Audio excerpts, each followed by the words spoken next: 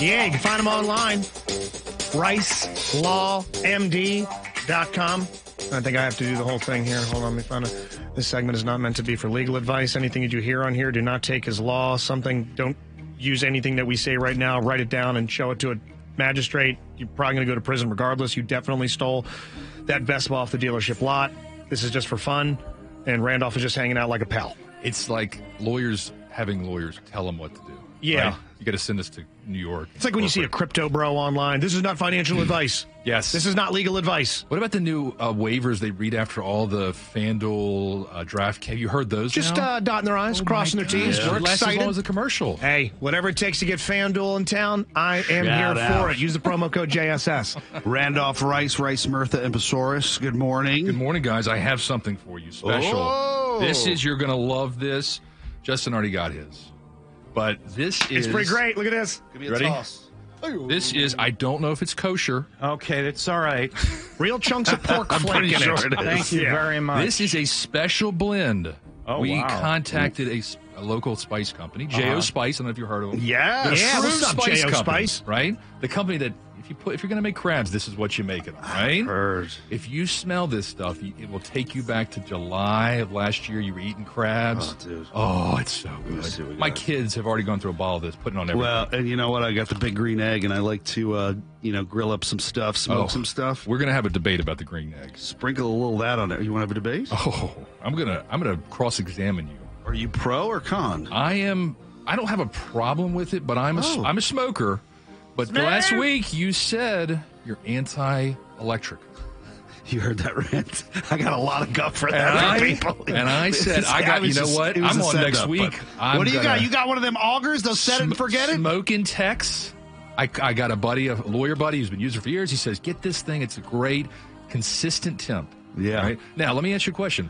What is your wood? What's your smoke? What's creating your smoke?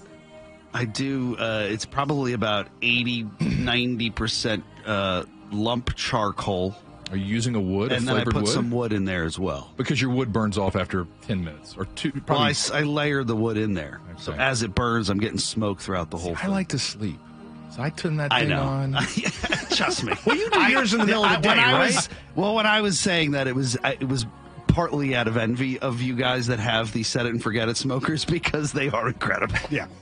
You can have go to bed and wake up and have an amazing brisket. I, I got it from a company in Texas. I called the guy thinking I was going to get like some corporate right. I get the old, hello, how can I help you? Smoking Tex. And I'm like, this is amazing. The guy talked to me for 20 minutes, walked Hell me through yeah. the process. It was fantastic. Not sponsoring sport, Smoking Tex, but I love my smoker that's electric. Hey, how turn much can for- we talk about what we're uh we're doing tomorrow? Doing a little something I mean, off the grid over yeah. at our boy I Jimmy's think it's place. gonna be funny. Shout out Minadakis. Yeah. Uh, uh, Tommy Simbazo, he's going to be one of the opening acts for Justin Scott and Spiegel Uncensored, JSS Uncensored this week in FPX. He is going to be starring in your new commercial. Heyo. Huh? Yeah, we're going to be doing it over at Jimmy's. Yeah, I we can't shot wait. part of it uh, Tuesday, and and we're trying to be clever. That's where Tommy comes in. That's where Tommy. Well, that's where you come. in. I'll just add Listen, farts and cartwheels. When- no, you want Tommy. when we when we decided to try something different, we said, "Who do we talk to?" And we thought Justin Schlegel. He is our man. And we contacted Justin. He came with a great idea, There amazing idea. Thank Yeah. you. It's gonna be fun. It's gonna, gonna be, be very, very fun. Yeah. Hearing Josh rip them reads off sounded real nice. I hear, I hear Speaks tell me where to go for lawyers, and by God, I do it. So I want to ask you Yes. about uh, this case Oh, in uh, the that's city why we brought you with in. the squeegeeing Yes. uh, situation.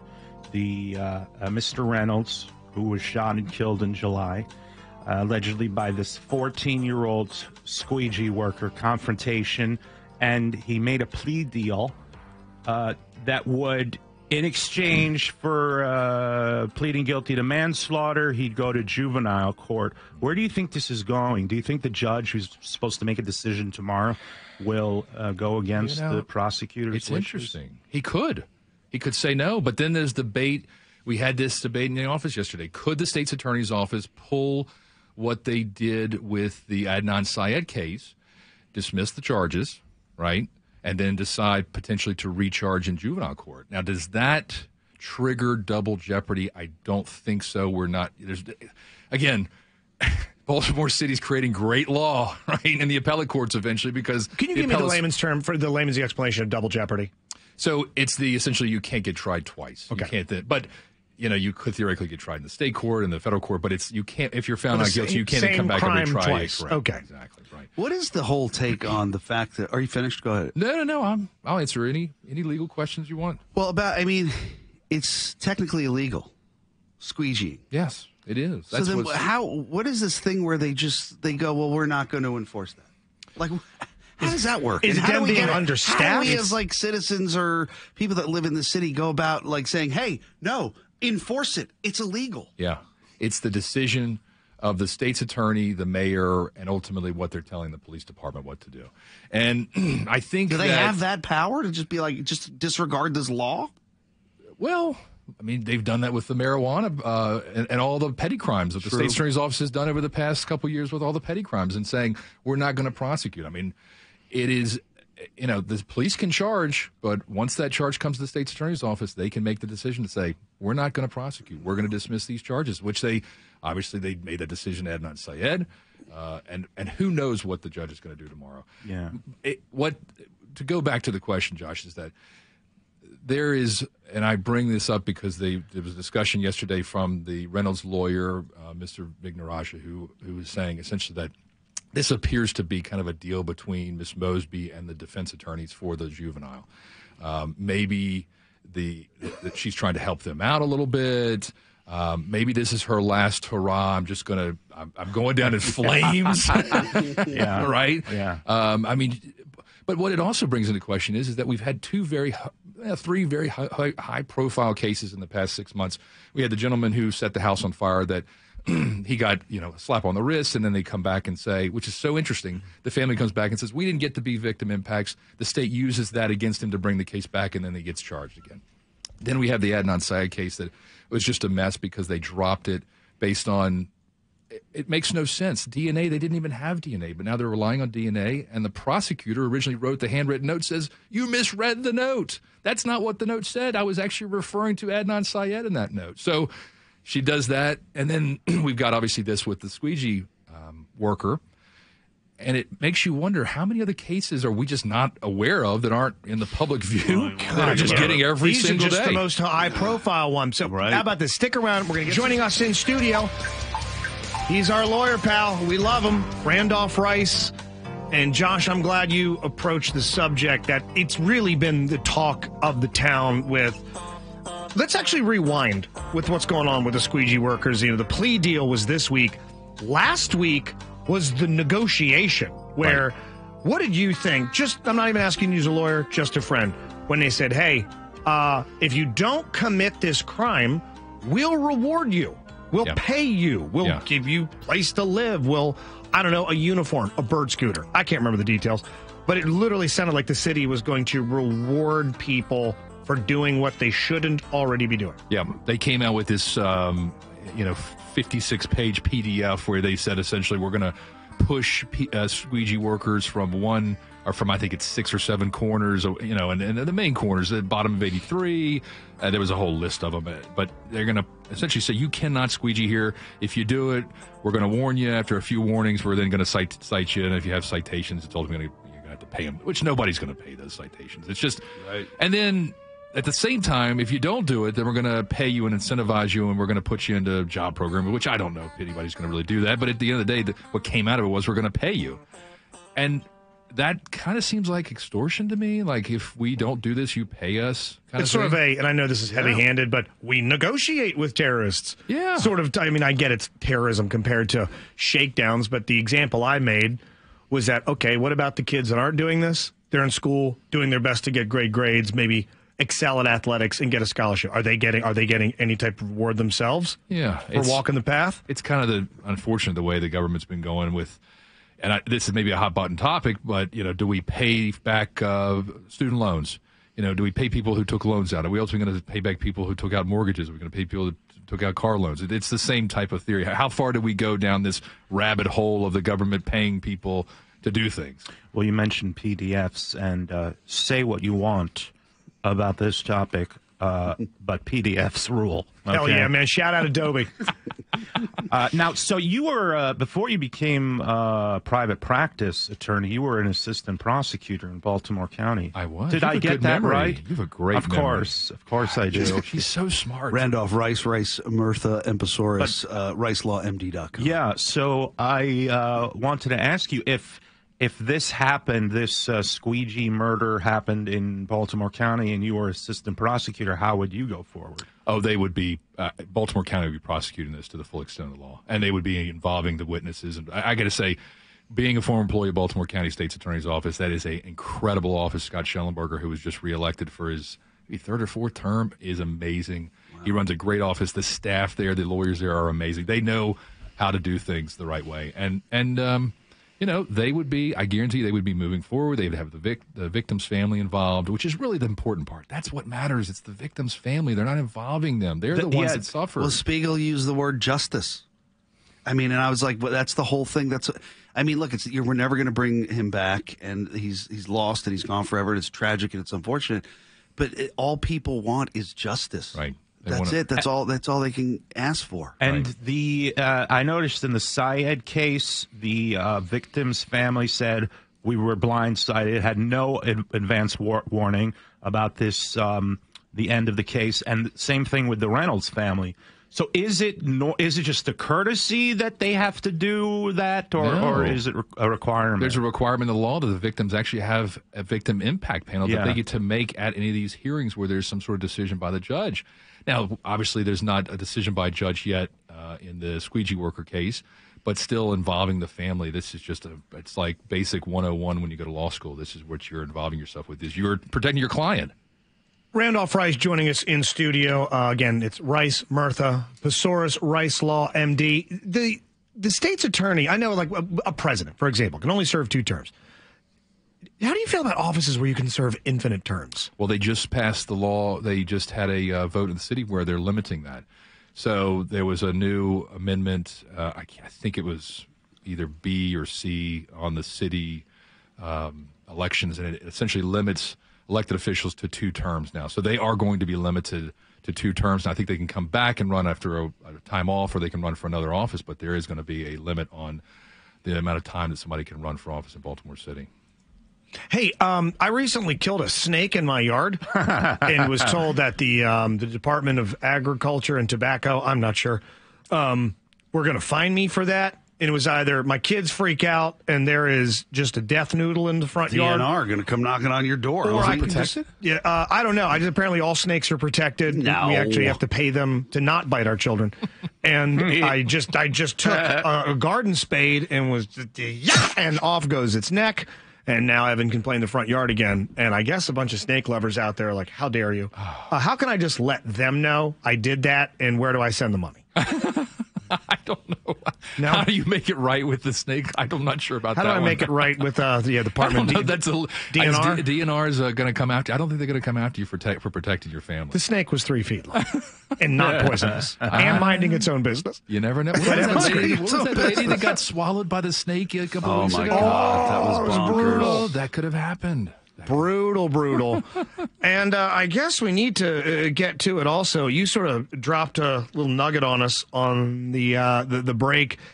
That sounds like you got yourself a brand new boat. oh, we're gonna enjoy the hell out of that Can't wait to thing. be on the high seas. Let's go. Uh-huh, That's what's gonna happen. Yes, baby. when can we? Uh, what? What? A? Do you have a name for it yet? We're working on it. My wife's so the last boat we named. Um, my wife and I both went to Virginia, which you know our hearts are with the Virginia uh, family because we both graduated from the University of Virginia, and obviously you probably heard about the news Oh, of yeah. the football players. Josh covered it well. So my wife and I went to Virginia. The last boat we had, we had to name kind of something similar with our Virginia background, which they call them the Wahoos. Mm-hmm. So we named it Who's Fishing. This boat, I think I got to go with my wife's name or my daughter's name, maybe. We've been thinking about something. Carry on, hmm. carried away, oh, maybe. Oh, okay. Carry okay. on, my wayward daughter. Something. A little long, a little wordy. Yeah, But it I is think wordy. we got to get Josh on the boat. That was the discussion, really. It was centered around getting Josh on the boat in a bright orange life vest. And listen, let me tell you this. Put him behind the wheel for a couple minutes. I like that. I love it. You want to drive a boat? Oh, Randolph. Have you ever driven? Have you ever? Do Randolph, I haven't been on a boat in years. Randolph. have you ever His driven a boat? what? Have you ever uh, been at the helm of a boat? Briefly, yeah. It's fun, Really? man. Yeah. It's a lot different than a car. there. Car. I, I would, I would, I would love to. I, uh, I could, I could try to scuba dive and never come up again. What? Oh, no. hell yeah. Yeah. Why would you say such? This thing strong enough to pull skiers? Oh yeah. Yes. It can Oh, pull. yeah. It can pull a tree out of the ground. Oh yeah. It's- it's- Really? We're going. We're going fast. Can I? Can Hair I? on fire. Can I ask the model and all that? Or I don't want Is to. a. Uh, it's well. w- I, will show you off. Okay, I'll all right. I don't, don't want to put your business out there too Yeah, much. Okay. yeah. It shall be called the Titanic. a listener just named your boat. Keep calm and carry on. oh, yes. There, I she, like that. there you The go. British reference to the war effort. Uh, back to the squeegee thing quickly. Randolph Rice in studio. We're getting a lot of text, and uh, a bunch of them are asking about the, the handgun, an unregistered handgun, and how why is he not being charged with that? Well, again, that's another. Why are you not being charged with all these things? I don't think they actually caught him with the gun. Um, they theoretically, obviously, could charge that. I think the more important, the, the, obviously the top charges were the first degree murder. Yeah. They probably charged second degree murder. You know, we don't know this gentleman's name, so we don't know all the charging documents. It's very limited as to what we're getting to see because he's a juvenile. Juvenile, right. 14 at the time, 15 at the time of arrest. So when you're a juvenile, there's very limited information that they're going to be able to release. We've obviously gotten most of our information from the Reynolds family's lawyer, who has put it out there just as a last ditch. Hey, public, please speak up. Help us here in making sure that this victim has a voice. And then uh, the story that he did uh, this morning regarding this, he recounted the the whole incident and uh, you know the way it went chronologically and what happened, and it was new video released. There's the dash cam, and then there's that surveillance video that that uh, that their, the Reynolds lawyer re- that put out. He put in stills photos of it. How does was that video? Just was it released just to us? Was that already seen? And how does that whole thing work? It, it, the state has it. The state's attorney's office had it. The police department had it, from my understanding. There's something that the victims, I guess, somehow got a hold of, maybe through some sort of discovery or Freedom of Information Act, and then they took stills from that and used that to, to sort of put together a timeline as to how this gentleman went over, grabbed the book bag, put it in the front of him, put a mask on. I mean, what? How much intent do you have? Yeah. To go and do something. We when were you put- saying that earlier. saying If I, that. if I was to be in a situation where I need to defend myself, I don't go, hold on one second, let me go put gear on. Right. That was, yes, that, and I didn't come up with the term, shocker, you a lawyer did, intent. Yes. That The I don't want to be was- seen. Was it Uh, premeditated? Was it something you were thinking about doing? And why do you put a ski mask on in what is it, summertime? Yeah. to It's not cl- be seen to and not not, be have seen. your image right. on a CCTV, which at that point, by the way, was too late. Can I ask one last quick one before we let you go? Yes. Randolph Rice, RiceLawMD.com. It was Josh's story towards the end of October, about three weeks ago, that the ATF completed their investigation into that January fire that killed the three Baltimore firefighters, was ruled a homicide. And we talked about this on the show. We had never heard investigators or, you know, department heads before say, stop sending tips. We we have an idea. We don't need any help anymore. Mm-hmm. How close have you followed that? How close are we to having a name for who did this? Do you do you have any idea where that thing is currently at? Because as of october 27 atf completes investigation into january fire but we still don't have a name a face of who did this. No. outside of some blurry footage. No, not yet. And I'll tell you this: the feds are they are top notch. Like they don't mess around. When they bring a case, they got everything. They got your mom admitting that you did it. I mean, they bring photos, Damn. fingerprints. Because we we have a one of my partners, Joe Murtha, tries cases in federal court, and it, sometimes he jokes. He says he just he's playing for fumbles. I mean, it's they're that good. Um, so isn't whatever- the prosecution rate in like the 90s Oh, they're incredible. It's shocking. They're the they're the best prosecutors. They have all the resources of the federal government. They have all these federal agencies that can go out and do all this investigation. They have endless money, technology, DNA, lasers. I mean, they got it all, right? All the toys, all the bells and whistles. They can go across the country and do whatever they need to do. So they're amazing. Man, we always love having you talk law with us because uh, I'm a dollar that doesn't know anything beyond night court. Uh, basically, my legal knowledge goes as far as Bull the bailiff, so we love having Randolph Rice stuff, in. man. Dude, he knows his stuff. Thank you again. RiceLawMD.com.